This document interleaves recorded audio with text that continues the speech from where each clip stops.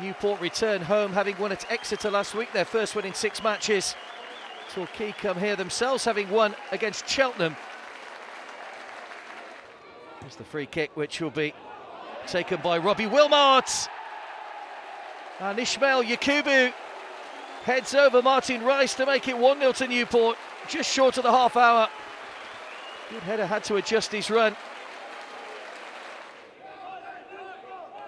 Newport leading here by a goal to nil. Lost just one of their last six league matches.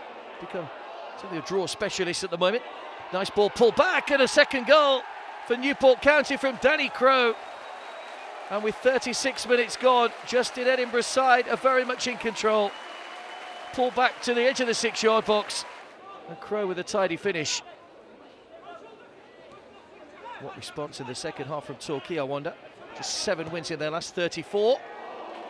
Not a bad effort from Dale Tonge. Torquay have lost their last two away games. They trail 2-0 here. Chance though to pull a goal back. And they've got a goal back as well.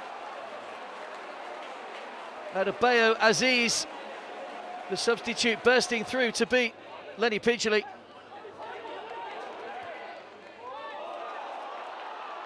Lovely ball, he's played inside the fullback for Connor Washington. It's a good save by the goalkeeper's legs. One last chance maybe for Torquay. It's Azeez with a shot which goes just wide.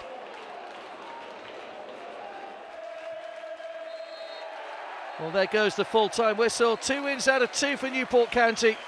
Both goals coming in the first half. It's another defeat, though, for Torquay by two goals to one.